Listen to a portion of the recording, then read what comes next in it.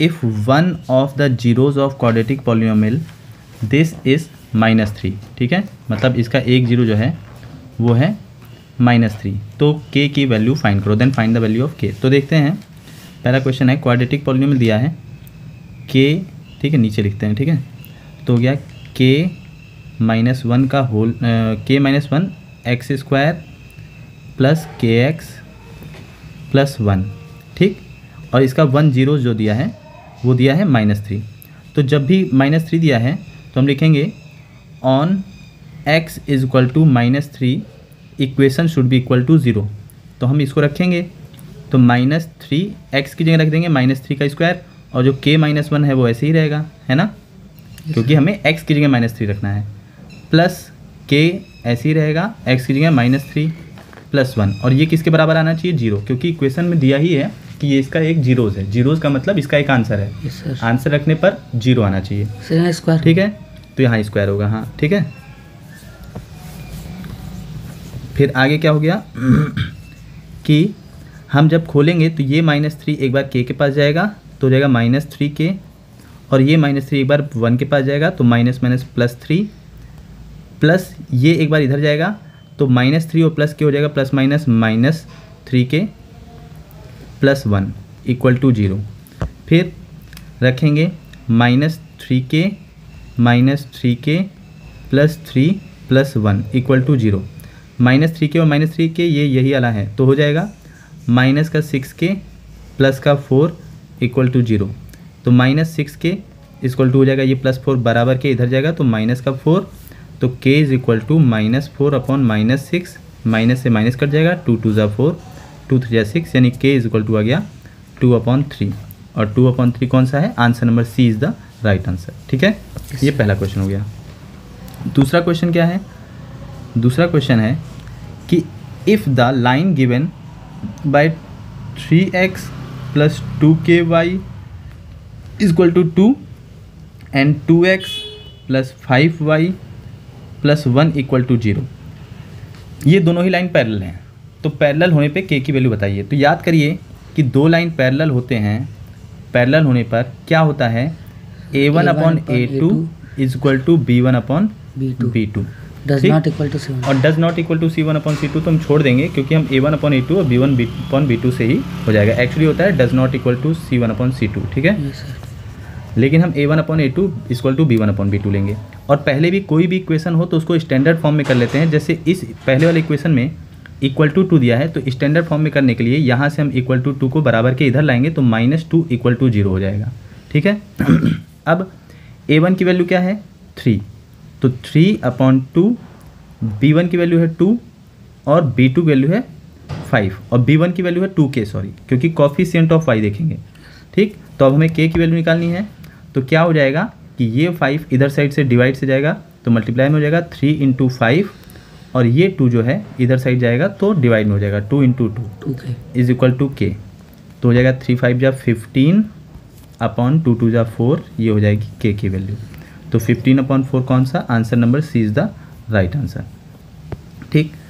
अगला क्वेश्चन है question number three कि the quadratic equation two x square minus three root two x plus nine upon four equal to zero has two distinct root equal root no root या more then to root तो पहले हम एक formula जानते हैं जो root पता करने के लिए होता है।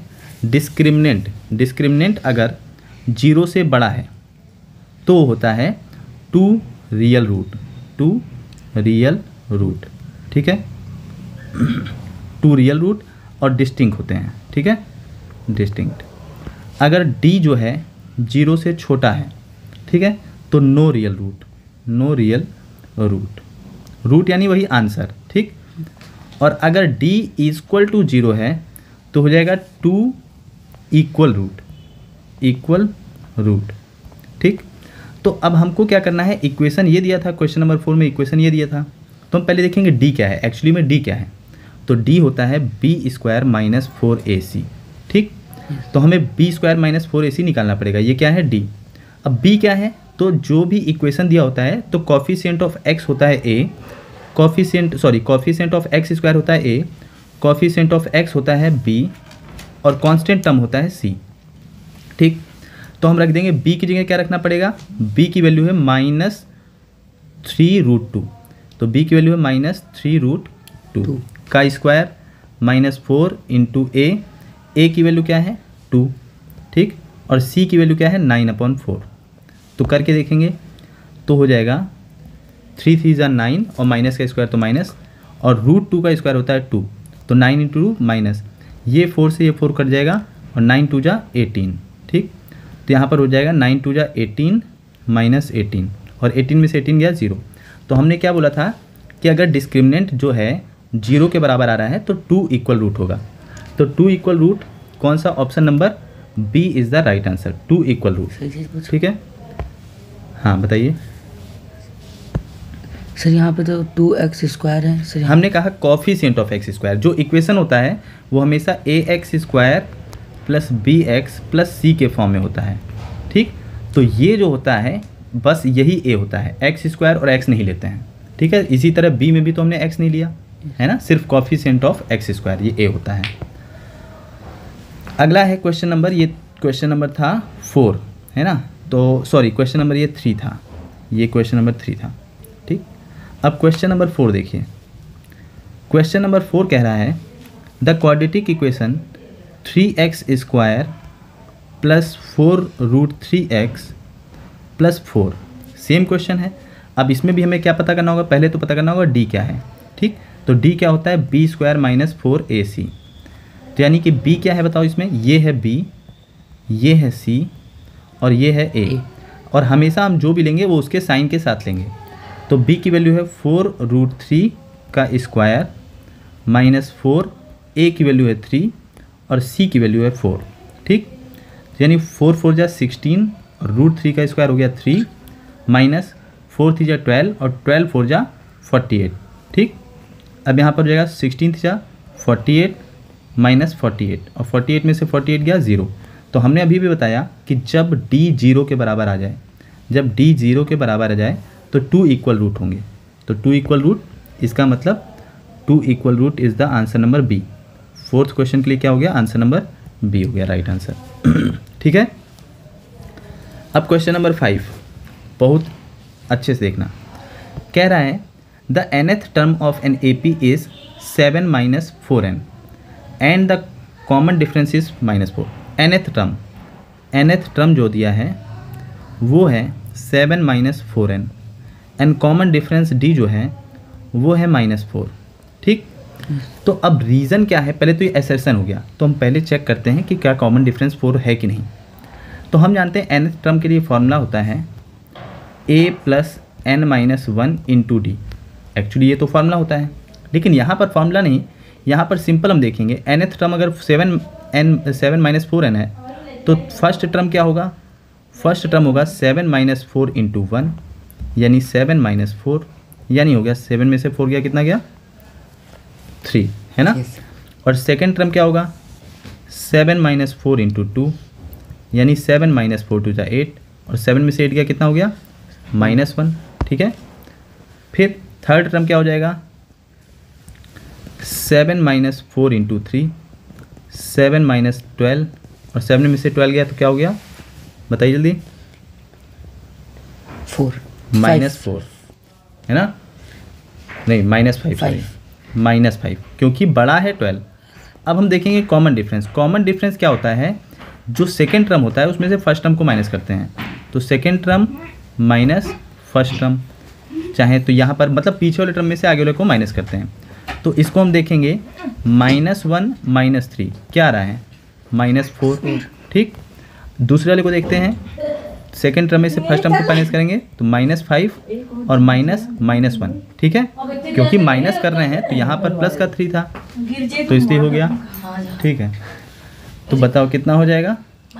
सर नहीं। माइनस फाइव और माइनस माइनस प्लस वन। कितना हो जाएगा? फोर। माइनस का फोर। बता रहे हैं ना जो बड़ा होता है उसका साइन लगता है। तो कॉमन डिफरेंस तो सेम आ रहा है। एसर्सन सही है। एसर्सन सही है। सही है। अब अगला इसमें क्या कह रहा है कि common difference of A P D is equal to A n minus n plus one minus n तो देखेंगे क्या ये होता है। तो कॉमन डिफरेंस एक बार ये भी करके देख लेते हैं कि D is equal to A n plus one minus A n तो d एक्चुअली हमारा ए एन टर्म क्या था? ए एन था सेवन माइनस फोर एन तो ए एन प्लस वन क्या हो जाएगा? Seven minus four n plus one जहाँ पे एन है वहाँ पर एन प्लस वन कर देंगे। ठीक? तो सेवन माइनस फोर एन और माइनस माइनस ये जब एक बार इसके पास जाएगा एक बार इसके पास जाएगा तो माइनस का फोर तो सेवन में से फोर गया कितना हुआ? थ्री माइनस फोर एन और डी निकालना है तो A nth n plus one term यानी three minus four n minus A n term यानी seven minus four n term minus करेंगे तो three minus four n minus seven और minus minus plus four n four n से four n कटा, और seven में से थ्री गया तो बड़ा सेवन है, इसलिए माइनस का फोर तो यस एसर्सन भी सही है रीज़न भी सही है। इसका मतलब ये एक फॉर्मूला भी है कि अगर कोई ए एन टर्म दिया है या एन एथ टर्म दिया है तो हमें डी निकालना हो तो हमें A n plus one minus A n करना है। और सिंपल अभी भी मैंने बताया था डी क्या होता है? डी होता है second term minus first term. ठीक है? First term. तो कोई भी पीछे वाले टर्म में से पहले वाले टर्म को माइनस कर देंगे तो डी आ जाएगा। तो बस इसमें एसर्सन और रीज़न दोनों ही सही है। तो क्या हो जाएगा? Both assertion and reason are true and reason is correct explanation of A सही है। ठीक? अगला क्वेश्चन क्वेश्चन नंबर सिक्स तो क्वेश्चन नंबर सिक्स क्या है? बहुत ध्यान से देखना। क्वेश्चन नंबर सिक्स है two poles of height six metre and eleven metre stand vertically upright on the plane ground if the distance between their foot is twelve metre then the distance between their top is तो देखिए, हमें क्या करना है? इसको question number six है two poles height six metre and eleven metre एक हम यहाँ पर पोल कर दे रहे हैं ये सिक्स मीटर का है ठीक? और एक यहाँ पर पोल कर दे रहे हैं ये इलेवन मीटर का है। दोनों अपराइट खड़े हैं प्लेन पे ग्राउंड और डिस्टेंस इनके बीच का है ट्वेल्व मतलब इनके बीच का डिस्टेंस जो है ट्वेल्व मीटर है। ठीक है ना? तो कह रहा है find the distance between their top हमें ये निकालना है ये डिस्टेंस निकालना है। तो सबसे पहले हम क्या करेंगे? इनका नाम देते हैं। मान लेते हैं एक पोल है ये ए बी और एक पोल है यहाँ पे सी डी जहाँ से हमें एक्चुअली ये डिस्टेंस निकालना है ए सी तो हम यहाँ से एक लाइन ड्रॉ कर लेंगे। अगर ये ट्वेल्व है तो ये लाइन पैरेलल ड्रॉ करेंगे तो ये भी ट्वेल्व होगा। मीटर, बिल्कुल होगा। ठीक? और ये पूरा अगर सिक्स है, यहाँ से यहाँ तक सिक्स है तो जब हमने पैरेलल लाइन ड्रॉ किया है और ये अपराइट थे ही तो ये हमेशा याद रख लीजिए कि ये साइड ए बी हमेशा ये इस पे मान लेते हैं पॉइंट ई है। ई डी के बराबर हो जाएगा। यानी ई डी भी सिक्स हो जाएगा। क्यों? क्योंकि ये एक रेक्टेंगल बन जाएगा। अब बचा हुआ सी ई की वैल्यू क्या होगी? सी की वैल्यू इलेवन माइनस सिक्स क्योंकि पूरा इलेवन में से सिक्स हटा देंगे। तो इलेवन में से सिक्स गया कितना बचा? फाइव ठीक? अब देखो, एक ट्राइंगल हमें इस तरह से मिल गया, जिसमें सी ई और ए है। हमें ए सी निकालना है। और सी ई की वैल्यू है फाइव ए ए ई की वैल्यू है ट्वेल्व ठीक? या तो इसमें हम पाइथागोरस लगा देंगे और या तो पाइथागोरस ही लगाएँगे। तो पाइथागोरस ही लगाएँगे तो A C square equal to A E square plus E C square A C की वैल्यू क्या हो गई? ए सी स्क्वायर नहीं पता। ए ई की वैल्यू क्या है बताओ? ट्वेल्व स्क्वायर और ई सी की वैल्यू फाइव स्क्वायर तो A C square equal to one forty four plus twenty five तो A C square equal to one sixty nine और ये जो वन सिक्सटी नाइन होती है किसकी वैल्यू होती है? जो है अंडर रूट में थर्टीन की वैल्यू यानी ए सी इक्वल टू हो जाएगा अंडर रूट क्योंकि स्क्वायर हटेगा तो रूट लगेगा और ये हो गया थर्टीन सेंटीमीटर यानी थर्टीन सेंटीमीटर तो पूछा जाएगा कि इनके टॉप के बीच का डिस्टेंस कितना है? थर्टीन सेंटीमीटर ठीक? अगला question question number question number seven ठीक है? तो क्वेश्चन नंबर सेवन क्या है? बहुत ही अच्छा क्वेश्चन है। ए बी सी एक ट्राइंगल है और ए बी सी ट्राइंगल में डी ई पैरल है बी सी के। ठीक? देखो, पहले तो एक ट्राइंगल बना लेते हैं। ट्राइंगल इधर बनाते हैं। ए बी सी और जो एक डी ई है, यहाँ से डी ई ये पैरल है बी सी के। हमें x की वैल्यू देनी है और जबकि ये x है, ये x प्लस थ्री है, ये है x प्लस वन और ये है x प्लस फाइव ठीक? क्वेश्चन में जैसे दिया है। तो हमें बताना है x की वैल्यू तो एक चीज़ जानते हैं क्लास नाइन्थ में भी हमने थेल्स थ्योरम पढ़ा है बेसिक प्रोपोर्शनैलिटी थ्योरम पढ़ा है। तो बेसिक प्रोपोर्शनैलिटी थ्योरम के हिसाब से अगर कोई ट्राइंगल में कोई पैरेलल लाइन है तो पैरेलल लाइन जहाँ से इंटरसेक्ट करता है बचे हुए दो लाइन के तो उनके साइड का रेशियो बराबर होता है। इसका मतलब जहाँ पे इंटरसेक्टिंग पॉइंट है A D upon D B is equal to A E upon E C होगा। ठीक है ना? ए डी की वैल्यू है एक्स डी बी की वैल्यू है x plus one A E की वैल्यू है एक्स प्लस थ्री और ई सी की वैल्यू है एक्स प्लस फाइव अब क्या करेंगे हम? क्रॉस मल्टीप्लिकेशन कर लेंगे। ठीक है? तो क्रॉस मल्टीप्लिकेशन करेंगे तो x प्लस फाइव जो है जाएगा, x के पास तो यहाँ हो जाएगा x x प्लस फाइव और इधर x प्लस थ्री के पास जाएगा, जो है x प्लस थ्री के पास क्या जाएगा? x plus three x plus one चला जाएगा। ठीक? ये इसके पास आ जाएगा। अब एक बार x x के पास जाएगा तो एक्स स्क्वायर फिर एक बार x फाइव के पास जाएगा तो फाइव एक्स फिर यहाँ पर एक बार x x के पास जाएगा तो हो गया एक्स स्क्वायर फिर एक बार x x वन के पास जाएगा तो हो गया x वन जा एक्स फिर एक बार थ्री एक्स के पास जाएगा तो प्लस का थ्री एक्स और एक बार थ्री वन के पास जाएगा तो प्लस का थ्री अब x square plus five x minus x square minus x minus three x plus three equal to zero यानी सब कुछ हमने एक साइड ही ले लिया. एक्स स्क्वायर प्लस का और माइनस का कैंसिल हो गया. फाइव एक्स में से एक्स गया तो हो गया फोर एक्स और फोर एक्स में से थ्री एक्स और चला गया। तो हो गया एक्स और बचा क्या यहाँ पर सिर्फ़? प्लस का थ्री इक्वल टू ज़ीरो यानी एक्स इक्वल टू हो गया माइनस थ्री एक्स वैल्यू हो गई। माइनस थ्री नहीं एक्चुअली ये जो प्लस थ्री था, इधर आएगा तो माइनस का थ्री होगा। ठीक है? ये माइनस थ्री होगा। तो इधर साइड रहेगा। एक्स माइनस थ्री बचेगा इक्वल टू ज़ीरो तो एक्स इक्वल टू थ्री तो राइट आंसर इज़ थ्री देखते हैं कौन सा ऑप्शन है। तो option number A is the right answer ठीक? अगला है क्वेश्चन नंबर एट कि A B and C D are two common tangent to a circle बहुत अच्छा। अगला क्वेश्चन है क्वेश्चन नंबर एट कि ए बी और C D are two common tangents to a circle which touch each other at point C बहुत important question है। मतलब दो सर्कल हैं। एक सर्कल ये है मान लो। यस सर ठीक? और एक सर्कल ये है। ठीक? थोड़ा छोटा है जैसा भी ये बना लो। ये। अब कह रहा है कि इन दोनों के लिए एक तो ए बी और सी डी है दोनों कॉमन टेंजेंट है। Which touch each other at point C तो सी पे ही दोनों टच कर रहे हैं? Yes, तो ये सी हो गया। ठीक? If D lies on A B मतलब एक ए बी यहाँ पर बना दो टेंजेंट जो कॉमन टेंजेंट है मतलब दोनों के लिए टेंजेंट है ये हो गया ए और ये हो गया बी इसी ए बी पर डी भी है। है ना? लिखा है इसमें? तो इसी ए बी पर डी है यानी ये सी और डी इसी पर है।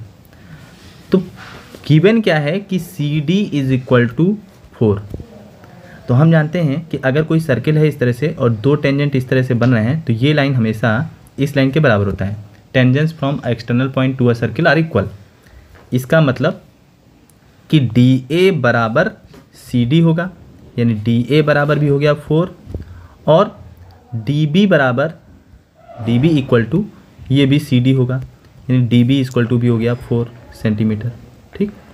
तो पूछा है then A B equal to तो ए बी की लेंथ क्या हो जाएगी? चूँकि ये देखो फोर है तो ये भी फोर हो गया क्योंकि इस पॉइंट से दो टेंजेंट बन रहे हैं ना? सर और ये अगर फोर है तो ये भी फोर हो जाएगा क्योंकि इस पॉइंट से दो टेंजेंट बन रहे हैं। तो टोटल ए बी की लेंथ हो जाएगी एट सेंटीमीटर यानी ए बी इक्वल टू हो जाएगा फोर प्लस फोर यानी एट सेंटीमीटर ठीक? करना है बहुत अच्छे से। अगला question question number nine very important circle का ही है। तो क्वेश्चन नंबर नाइन है कि ए बी एंड ए सी देखो, एक सर्कल है, ठीक? और इस सर्कल में दो टेंजेंट हैं। एक इस तरह से है और एक इस तरह से है, ठीक?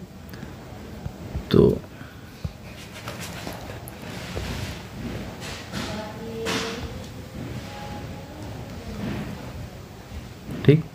ये है सी ये है ए ये है बी और यहाँ पे एक ओ पॉइंट है ठीक? कह रहा है कि ये एंगल जो है ये एंगल है पूरा 120 डिग्री है ना? तो then O A is equal to तो ओ ए किसके बराबर होगा? ये वाला किसके बराबर होगा? ठीक? साथ में और कुछ दिया इसमें कि ए सी ओ ठीक है। तो अगर ये 120 है हम जानते हैं कि जो टेंजेंट होता है उससे रेडियस को मिलाने वाला 90 डिग्री होता है। हम्म, तो ये पूरा इतना एंगल कितना हो जाएगा? ये हो जाएगा 60 डिग्री। ठीक? एक ट्राइंगल हमें इस तरह से मिल गया जो है ओ ए और बी हम जानते हैं बी है 90 डिग्री और ये एंगल है 60 डिग्री। क्या इसमें हम जो है हमें निकालना है? क्या निकालना है इसमें? ओ ए ओ ए निकालना है। तो क्या इसमें हम कोई फॉर्मूला लगा सकते हैं? जो फॉर्मूला हमें हेल्प करे निकालने में। पाइथागोरस थ्योरम लेकिन पाइथागोरस के लिए कुछ तो निकालना पड़ेगा। ठीक है? तो ऑप्शन देखते हैं। अच्छा चलो इसमें ए बी में ही दिया है। ए बी ए बी ठीक? इसका मतलब कि हम ए बी के टर्म में हमें निकालना है। तो हम जानते हैं ये ए बी क्या है? ये ए बी है बेस ठीक है? और ये है हाइपोटेनियस तो बताओ कॉस सिक्सटी अगर हम लेंगे तो कॉस सिक्सटी क्या होता है? बेस यानी ए बी अपॉन हाइपोटेनियस यानी ओ ए ठीक? हाइपोटेनियस यानी ओ ए ठीक? तो कॉस सिक्सटी की वैल्यू क्या होती है? One upon two equal to A B upon O A तो O A is equal to क्या हो जाएगा? ए बी इंटू टू यानी ओ ए इक्वल टू हो जाएगा टू ए बी ठीक है ना? तो option number A is the right answer O A equal to two A B समझ में आया? ठीक है। अगला question question number ten assertion and reason है। देखते हैं। To the two tangents are drawn to a circle with an external point मतलब एक सर्कल है, और इस सर्कल पर दो टेंजेंट एक्सटर्नल पॉइंट से ड्रॉ किए गए हैं। एक ये, ठीक? और इसी से एक जो है टेंजेंट ये।